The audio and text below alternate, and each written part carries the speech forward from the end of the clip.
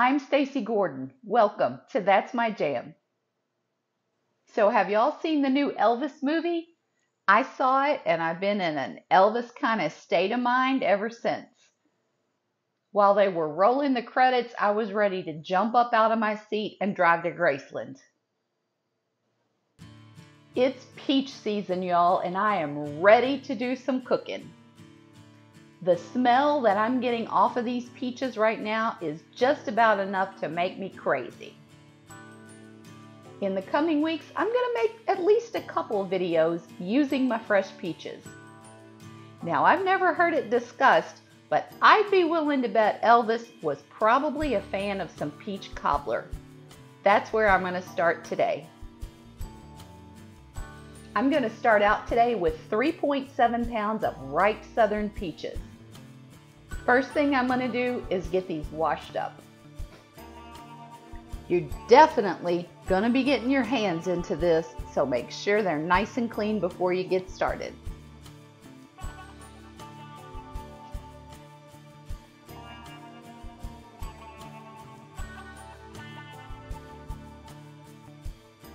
This is how I get started. I like to use a paring knife to get all of the skin off. You'll want to make sure that you've got all of the pieces of pit residue out of the peach before you put it in your bowl. If you're not sure, you can always run your finger in there and if you feel the little hard pieces of pit, that needs to be trimmed out. Cutting up and cleaning these peach pieces is a pretty labor intensive job. So let me take care of that and I'll be back. I'm not gonna lie to you, turning that plate of peaches into this is a lot of work, but I think you'll find it's worth it. I'm going to add my cut and cleaned peaches to a Dutch oven. I'll add five cups of sugar, one fourth cup all-purpose flour, and 1 half teaspoon ground nutmeg. If you're not a fan of nutmeg, you can replace this ingredient with half a teaspoon cinnamon. I'm going to mix all of this together and then I'm going to set this aside for a little while to let a syrup begin to form. Now would be a great time to go hit that like button for me. And if you haven't already, please consider subscribing to my channel. We'd love to have you as part of our crazy TMJ family.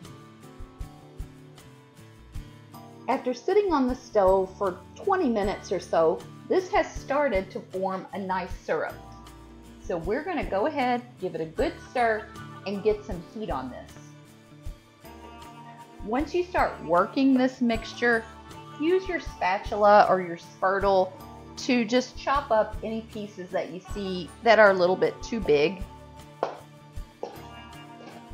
I'm going to continue heating and cutting up the big pieces of peach until this reaches a boil.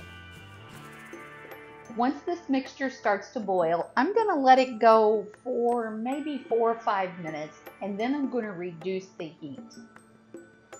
My objective here is softening the peaches and thickening the mixture. During the time these peaches are boiling, you want to make sure to keep moving them so they don't scorch. My peaches have been boiling for about five minutes, so I'm going to go ahead and reduce my heat to a medium low. For this particular cobbler, I'm going to be working with a 9 by 13 baking dish. I'm preheating my oven to 350 degrees and I've got about six tablespoons of butter in my pan. I'm going to go ahead and put this in the oven and let the butter start to melt. My peaches have been slow simmering now for about 10 minutes and it looks like the texture of the peaches is just the way I want it.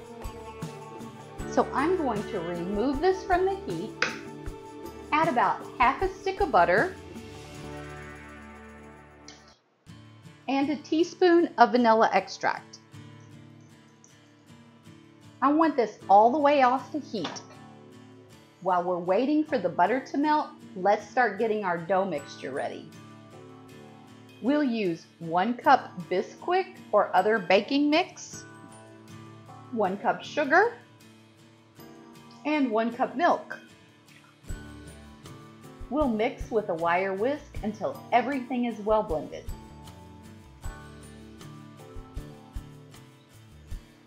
Our butter's melted. I'm going to carefully pour this batter over the butter.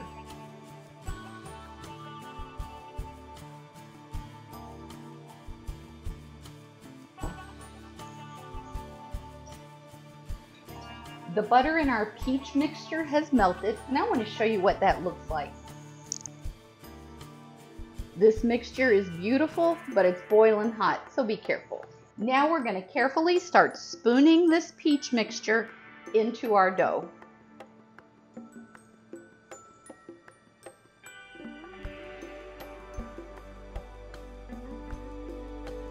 We don't want to blend this. We just kind of want the peach mixture to lay on top of the dough. But we're not going to stir it.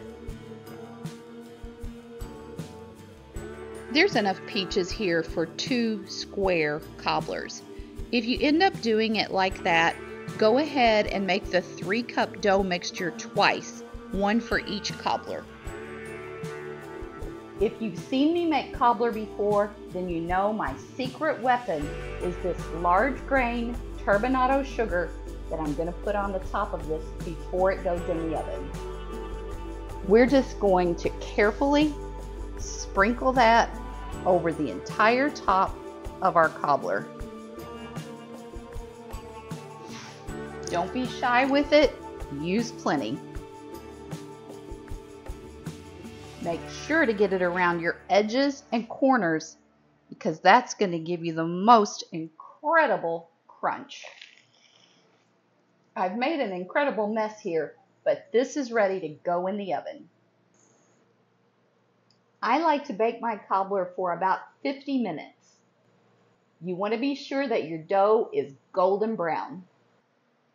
This cobbler comes out of the oven bubbling crazy hot. You're going to want to let it sit for 20 or 30 minutes before you're ready to serve it. It'll still be warm, but it won't be scary hot and it gives it time to thicken up a little bit. I've got myself a bowl. Now let's give this a try. While you and everybody else in the world is putting ice cream on this, I'm going to serve it the way my mom served it. I'm going to pour some cream on top.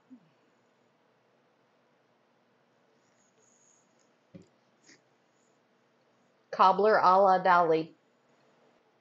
It looks good.